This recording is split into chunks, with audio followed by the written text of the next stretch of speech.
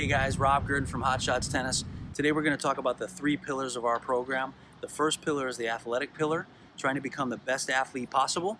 The second pillar is the tennis movement pillar, trying to become the best tennis mover out on the court. The third one is the competitive pillar, trying to become the best sportsman, the best competitor that you possibly can so that it's not about winning and losing, it's how you play the game. Hopefully you learned something from that and we'll see you out on the court.